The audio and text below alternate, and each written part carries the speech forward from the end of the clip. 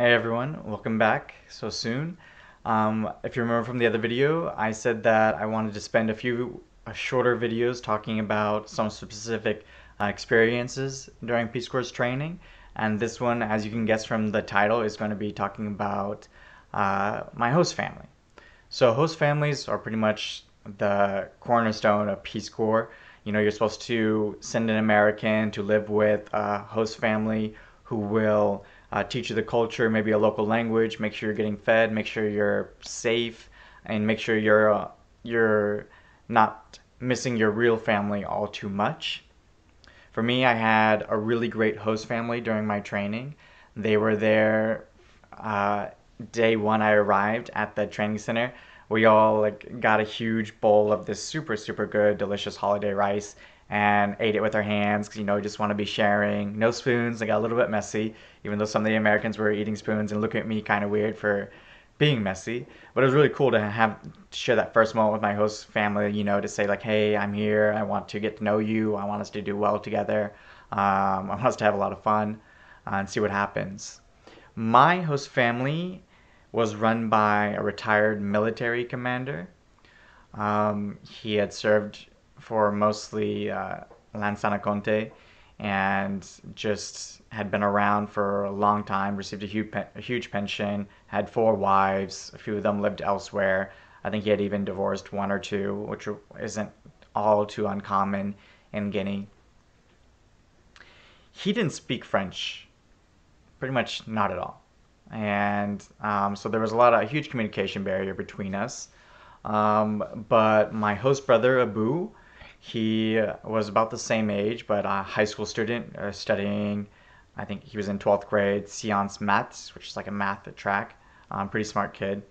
And he spoke French, and he was able to translate a lot of things for me. And so it was really nice, you know, speaking speaking my broken French to Abu, who would speak it to uh, his dad, who would then translate his own feelings. And he had said some things that were like really nice, you know, like "Welcome to our family." Um, we're going to take care of you. And uh, a really common phrase in uh, in Guinea is "oni ensemble," like we're together, and it means like we're together through all of our struggles and through all of our um, celebrations too. So I was with this host family for three months, and I didn't really have too many problems. Um, one of the biggest issues was food. I talked about that in the other video. Just, you know, the food was often cold when I got there or it was something I couldn't eat. And I had to talk to uh, my host brother Abu about it and then Peace Corps about it. And finally, that got changed towards the end, just getting food that was maybe a little bit warmer by the time I got home. And then also, um, the, the host father was actually giving me bananas and bread in the morning with peanut butter. Uh, it was, they were, it was hard for them to like realize that I liked eating bananas and peanut butter and with bread um, just because they weren't used to that. For them, peanut butter was just made for sauces. Like, why would you put peanut butter on your bananas? Why would you put peanut butter on your bread? You know, just these cultural differences. Um, other people that lived in the compound, there were several older women, like just the older wives, and they were, you know, uh, very nice in Ghanaian culture, you have to sal- uh, salute everyone. You have to say hello. How are you? How are the kids? How how's the husband? How are the wives? How are the kids? Again, like you have to do it on repeat. And the more you like someone, the more times you repeat it. And that's what a host family will teach you right off the back. Is like all these different salutations. So imagine me every morning having to say hello, how are you? How did you sleep? How are the kids? And then go to the next wife and hey, how are you? How are the kids? Even though they were standing right next to each other and um, it's a really it's it's a really funny experience because uh, you think it's like a joke or it's like a play or something like that, but it's just on it's just the way things are done there. One of the things that I really liked about my host family, um, besides that, they were really considerate about my my space. You know, I liked having my own room um, that nobody was allowed to go into just because like you know sometimes you need to like step back you need to like relax meditate do whatever um, but they were also careful to ensure that you know i was getting to see Dubreka so my host brother abu would take me on these walks and walking with your friends walking with your boyfriend or girlfriend or, or whatever is really uh, um, essential in ghanaian culture because not too many people have motos, and not too many places can you use a motorcycle or a car to get to. So walking and seeing things and just talking about what you see, uh, that's part of the culture. So Abu would take me to the art university, and I got to see these performances that were really out of place. Like I saw like students rapping at the art university. I saw them singing, uh, just uh, painting, uh, doing all different things that were really, really cool, and hearing super good French. And some of them could even speak English because they might have uh, lived in Sierra Leone or Liberia, some other country. Another place that Abu uh, took me to was um, to like this marshland area.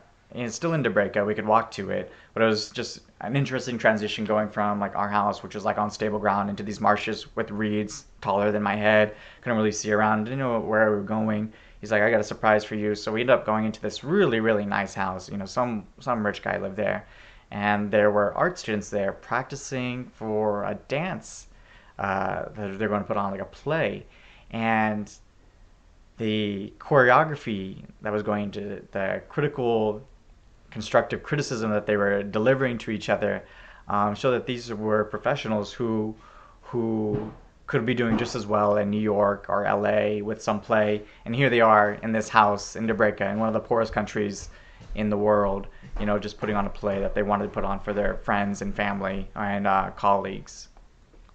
So that was something that was really cool. Um, some of the things that I did not like about my host family, and that's just some of the experience shared by quite a few other volunteers that lived in Guinea, was that um, there can be sometimes violent abuse, and especially dealt towards kids. You know, there's they're not one to use words to reprimand their children. Um, it's and it's oftentimes done by the the women, the older women. Um, disciplining the children, telling them that you need to be respectful, you need to learn like how what language you need to use, like there's like uh, different tones, and instead of just telling them that, they would actually hit them every time, and so it wasn't uncommon for me to be asleep and to wake up to a kid screaming, and because he's getting hit so hard, and uh, one of the most violent incidences I saw was an older uh, sister, she threw like a five year old or six year old little girl up against the wall.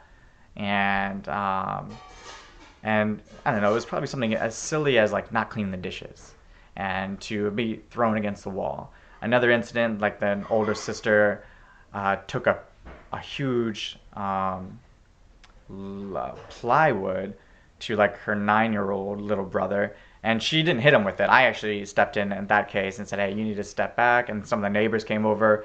Um, a few of the males came over and stopped it. And it was just something that was really weird. Was that in my experiences, the the men, even though they could, they would deal like out punishment as well. They were less likely to do that than the women, and um, it was very strange to see that.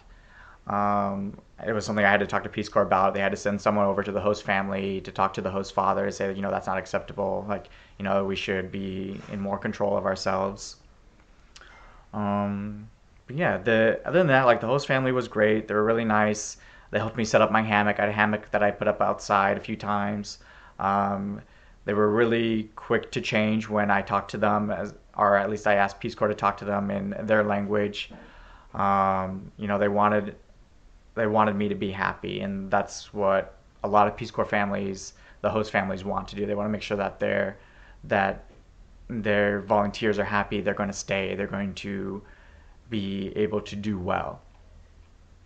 So, if for anyone who wants to join Peace Corps, like you know, look forward to that. Look forward to having a host family who who will care about you at your training site. Uh, sometimes you'll even have a host family at your site too. And look to make those relationships that you can really be um, you can enjoy and you know have someone to go back to whenever you go back to your training. Okay? So that was just my experience with my host family in Dubreka and I'm going to talk about a few other things and the other videos. Look out for them okay guys? Bye